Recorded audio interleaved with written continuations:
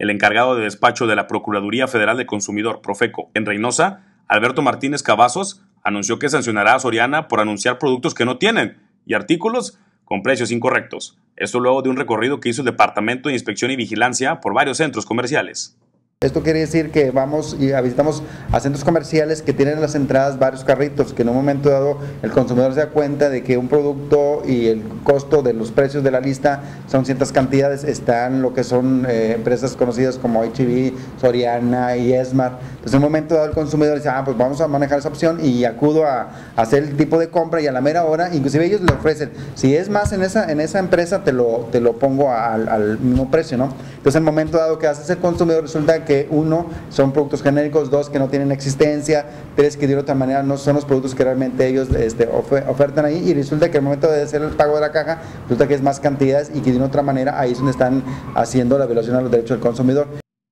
Martínez Cavazos declaró que en el recorrido únicamente el centro comercial Soriana fue el único que no cumplió con los supuestos precios más bajos que ofrecen en la lista de costos a la entrada del supermercado.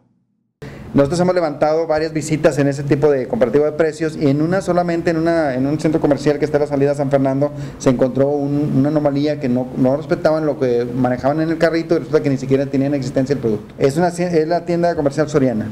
que sean los precios correctos, porque de repente vas a caja resulta que son de 950, resulta que son 1400 o 1500. ¿Dónde está lo que realmente ahorra el consumidor? Que checara bien o que revisara bien antes de entrar a, los centros comerciales, que de otra manera respetaran los precios y que realmente si van a usar ese tipo comparativo,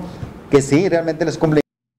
para los renocenses que detecten irregularidades en este tipo de publicidad al interior de los centros comerciales y que no concuerden con lo que establecen, pueden acudir a las oficinas de Profeco que se encuentran en el Boulevard Morelos 435 Altos o inclusive hacer la denuncia al correo reynosa.profeco.gov.mx